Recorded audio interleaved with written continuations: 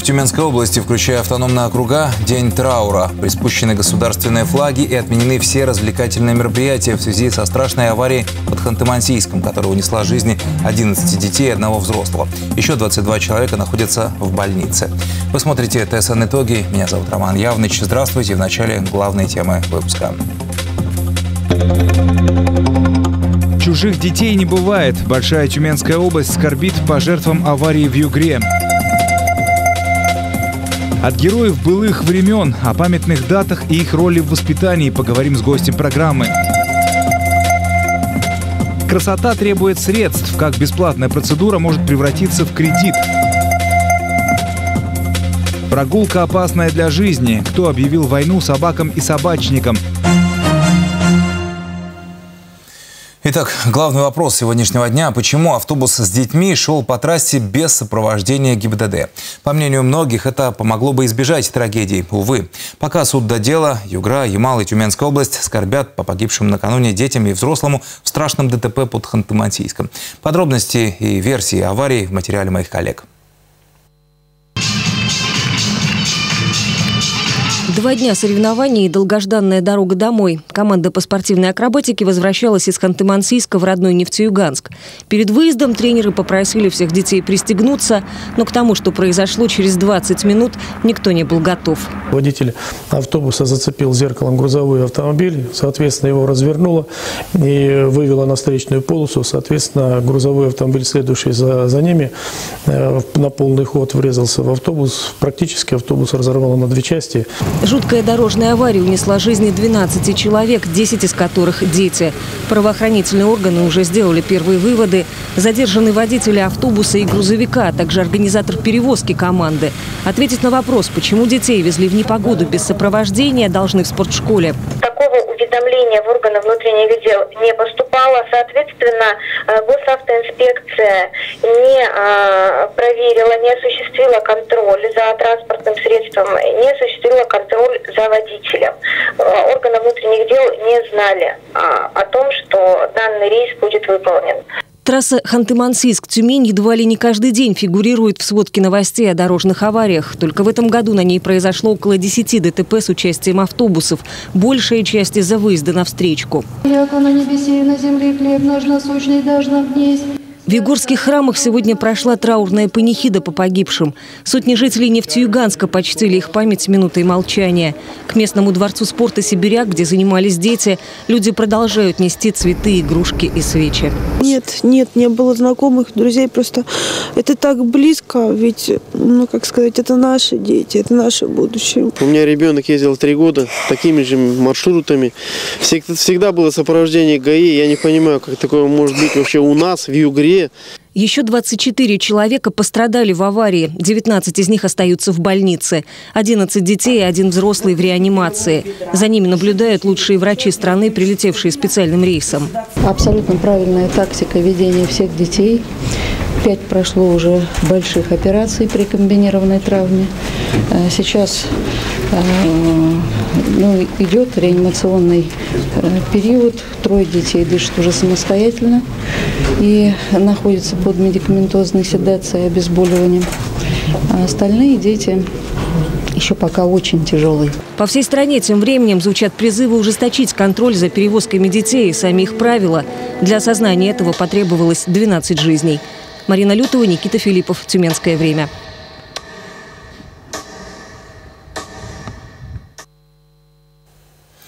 Если говорить о реакции на произошедшее, действительно, главы ряда российских регионов после трагедии в Югре выступили с инициативой ужесточить правила и контроль за перевозкой детей, не дожидаясь решений на федеральном уровне. Дело в том, что по действующему постановлению ГИБДД сопровождает детей, если в колонне больше трех автобусов. Впрочем, уведомлять инспекцию организаторы поездок должны в обязательном порядке, даже если автобус один.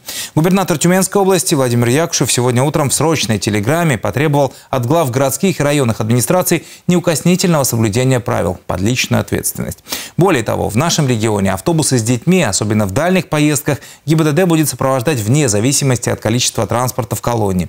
Еще одно требование – ограничить перевозки в темное время суток, а если погодные условия неудовлетворительные, отменять мероприятия и отказываться от поездок. Сообщение о внеплановых проверках перевозчиков приходит сегодня из многих регионов. Российский детский омбудсмен потребовала запретить перевозить детей рейсовыми автобусами. Премьер Дмитрий Медведев поручил проанализировать законодательство в этой сфере. Вот уж точно, пока гром не грянет. И, к сожалению, это не единственная трагедия, которая произошла в выходные. В деревне Лыково Упоровского района жертвами пожара в частном доме стали четыре человека. Супруги и их трехлетние близнецы. В тушении были задействованы 14 человек личного состава и 6 единиц спецтехники. Подробности нам по телефону сообщил начальник управления организации пожаротушения регионального управления МЧС Константин Скворец. Площадь э, пожара 9 квадратных метров. Пожар за пределы дома не вышел. То есть был пожар в комнате детской. Первый ствол на тушение именно подали в окно этой комнаты. Первое подразделение, прибывшее отдельный пост, он без э, газодомосительной службы. Поэтому уже когда упоровская часть приехала, то есть включили звено и далее уже в ходе тушения обнаружили погибших. По версии следствия, пожар произошел в результате замыкания электропроводки. Возбуждено уголовное дело. К другим темам. Завтра в Тюмени обещают открыть еще один съезд на развязке по улице Монтажников, а вернее заезд с улицы 30 лет Победы со стороны Пермякова можно будет уехать в сторону республики. Наверняка это отразится на дорожной обстановке и на объездной дороге. Сегодня она была там довольно непростой. Из-за строительства новой двухуровневой развязки введено ограничение движения от перекрестка Пермякова-Федюнинского в сторону Мельникайте. В итоге утро понедельника жители Ожогина и прилегающих районов провели в пробке. Впрочем, Впрочем, многие водители к вынужденной потере времени отнеслись с пониманием. На самом деле ситуация не очень хорошая, потому что а, детей вожу в садике, в школу, и очень затрудненное движение, особенно утром и вечером. Приходится стоять полчаса в пробках, и, конечно, это не радует. Хотелось бы, чтобы скорее работы провелись, и уже мы могли комфортно передвигаться. Вместо трех полос для транспорта сейчас открыты только две. До 10 декабря дорожники планируют разобрать островок безопасности и демонтировать ограждения. После схема движения вновь изменится. Стопроцентно изменится жизнь у воровки, которая подозревается в серии краж в больницах областного центра.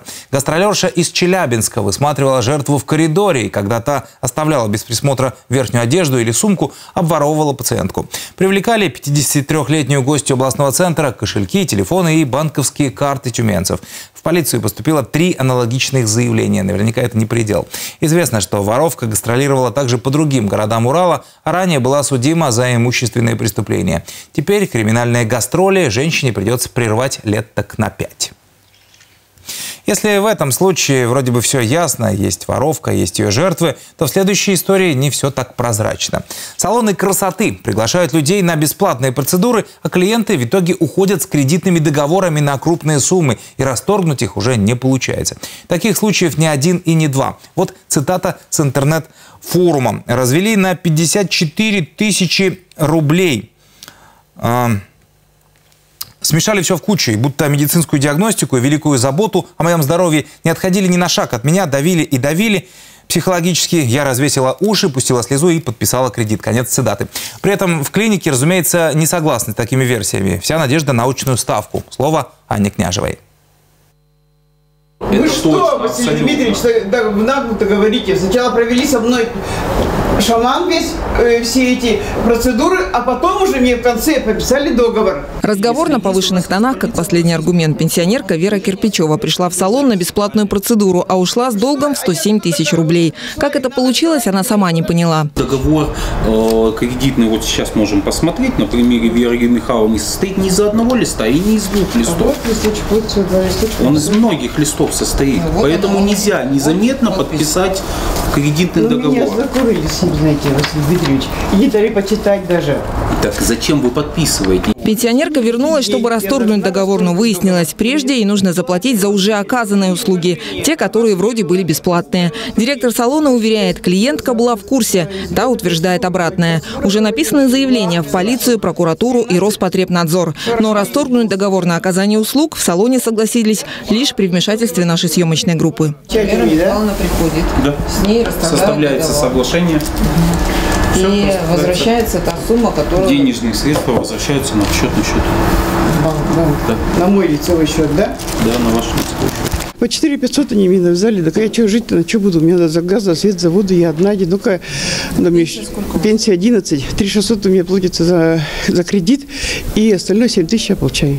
Такие истории не единичны. В полиции уже приняли несколько заявлений с жалобой на салоны красоты. Напишите в органы Роспотребнадзора. Возможно, здесь обман где-то потребителей. Возможно, несообщение информации о свойствах и качествах оказываемой услуги. То есть введение в заблуждение потребителя – это административная ответственность.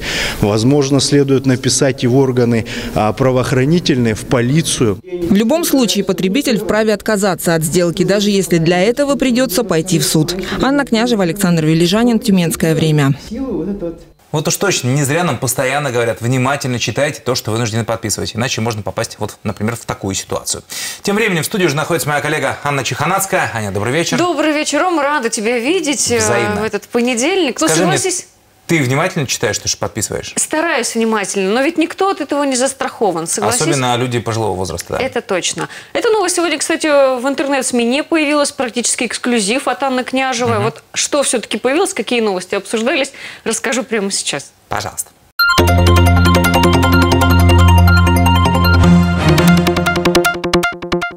На площади 400-летия Тюмени началось благоустройство, пишет 72.ru. Территория, где раньше была большая парковка, теперь огорожена. Площадь заняла техника и стройматериалы. Напомним, к концу 2017 года здесь должны появиться фонтан, кафе и большая зона отдыха с велосипедными дорожками.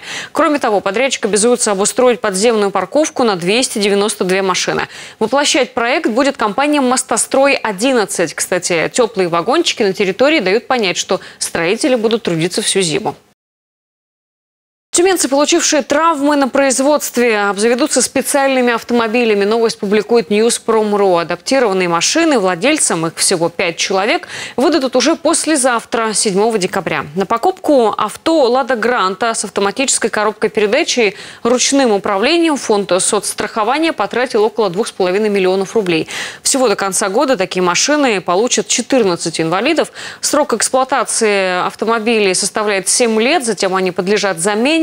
Соцстрах а также компенсирует владельцам расходы на ремонт и топливо. Все машины переоборудованы индивидуально под получателей с учетом их травм. Это дает возможность легко управлять транспортом. По Тюмени пройдет бессмертный батальон, сообщает «Комсомольская правда». Акция приурочена ко Дню Героев Отечества в России, который отмечают 9 декабря. Но в областном центре шествие состоится 11 числа, это воскресенье. В этот день пройдет встреча родителей вдов военнослужащих, погибших в локальных конфликтах. Участники акции возложат цветы к памятнику воинам-интернационалистам, погибшим в Афганистане. Но во Дворце культуры «Нефтяник» пройдет праздничный концерт с участием победителя шоу «Голос» и Романаха Фотия. Ну, этот день, Ром, отсылает нас к исторической эпохе Екатерины II. Как раз э, во время ее правления был утвержден орден Святого Георгия, и им награждались э, воины, проявившие на, войне доблесть. Ну, надо сказать, это не единственная памятная дата вот в эти дни, что дней. называется. Да-да-да. Ну, об этом мы поговорим с гостем программы в ближайшее время. Спасибо, Аня. Спасибо, Ром. А мы продолжаем.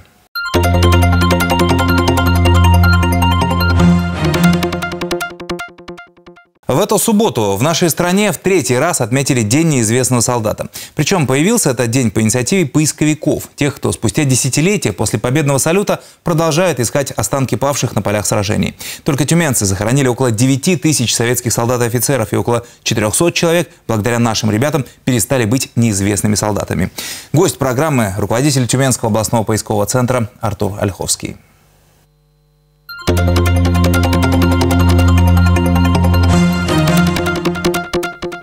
Артур Валерьевич, добрый день. Добрый день, здравствуйте.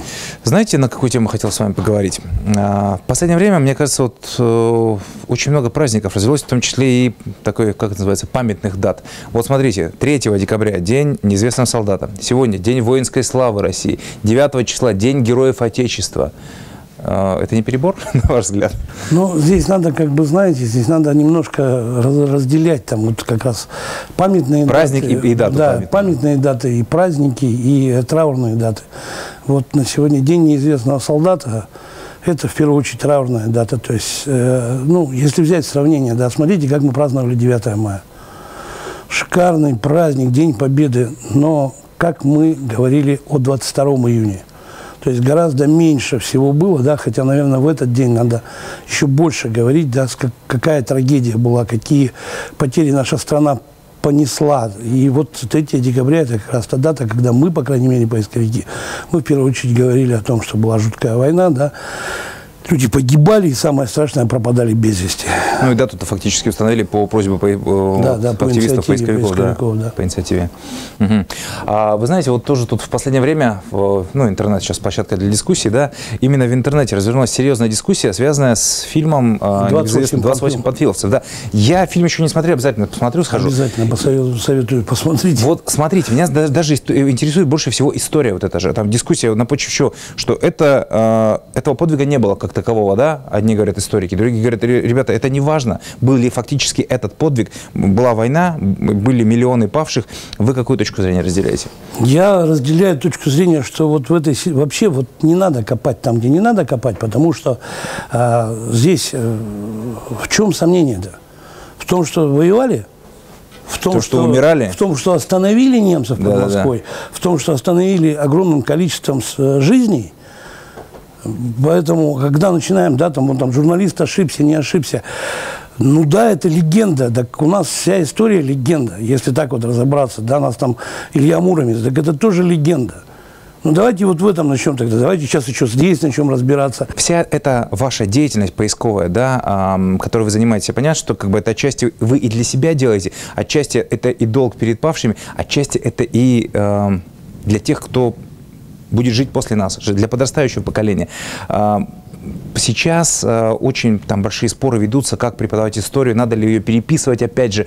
Э, ваша точка зрения, э, дети на чем должны изучать историю? Сейчас министр образования поднял вопрос об увеличении часов, посвященных Великой Отечественной войне. Наконец-то. А, вот, и дай бог все-таки это примут. И здесь, ну, для меня, конечно, да, как для поисковика, наверное, все-таки больше через руки должно поколение, должна молодежь пропустить, потому что я вижу своих ребят, которые выезжают в экспедиции не один раз, да, и они совершенно уже по-другому смотрят и на историю, и на Великую Отечественную войну, и на память, и по-честному приходят 9 мая с цветами к памятнику, зная, что такое война не по книжкам, а пропуская через руки кубометры земли, и ногами исхаживая десятки километров в поисках без вести пропавших солдат. Вот данные этого года, по 2016 году, э, проведено 700 экспедиций по России и подняты останки порядка 16 тысяч за год.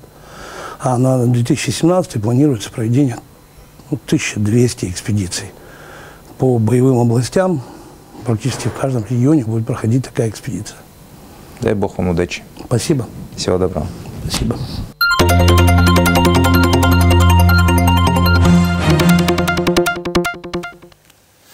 Все новости ТСН, включая выпуски нашей программы, доступны на YouTube и в группах «Тюменское время» в соцсетях, в Фейсбуке, ВКонтакте и в Одноклассниках. Вернемся в студию после блока новостей из районов области.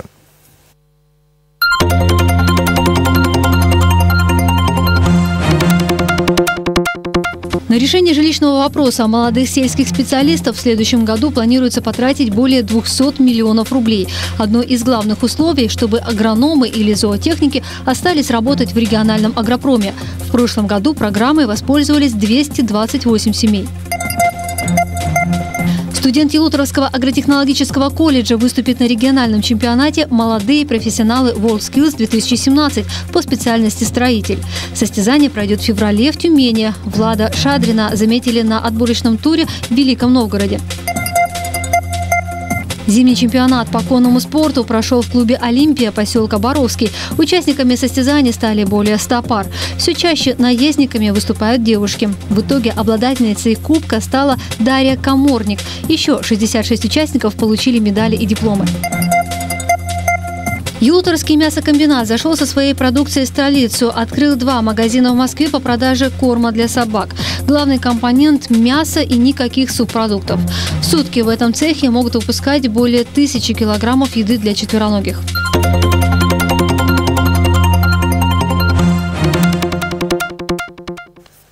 Однако далеко не все люди расположены к братьям нашим меньшим.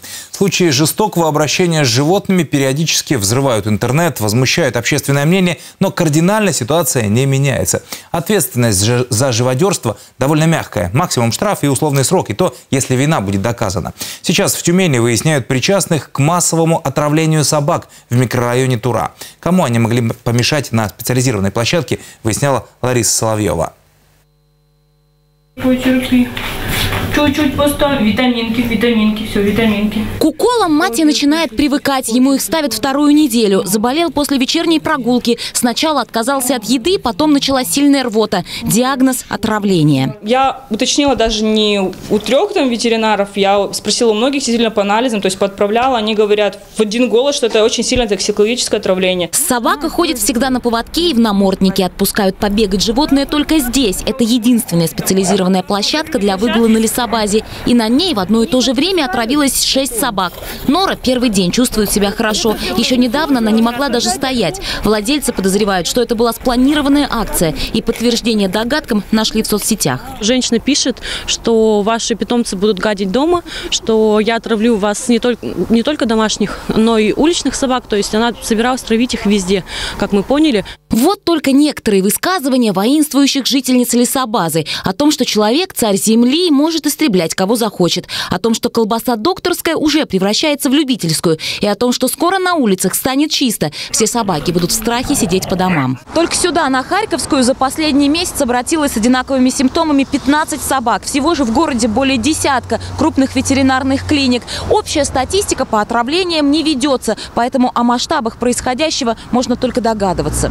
Все эти отравления объединяет одно токсичное вещество. Врачам оно хорошо знакомо и просто так на Земле оказаться не могло. Это вещество, да, которое специально раскидывают э, для именно травки животных. Продаются в свободном доступе в медицинской аптеке. Эффект наступает э, буквально в течение 30-40 минут. Между тем, в одной из зоозащитных групп города появилось объявление о пострадавшей теперь уже бродячей собаке. На лечение собирают деньги. Отравление попадает под статью Уголовного кодекса «Жестокое обращение с животными». И владельцы пострадавших питомцев уже пишут коллективное заявление в полицию. Лариса Соловьева, Роман Чинахов, Антон Пригорницкий. Тюменское время. И в завершение не оскудела талантами земля сибирская. Аспирант Тюменского госуниверситета Александр Горбачев завоевал бронзу чемпионата Евроскиллс-2016 в шведском Гетеборге. Он выступил в номинации «Специалисты по информационно-компьютерным технологиям», уступив соперникам из Франции и Бельгии.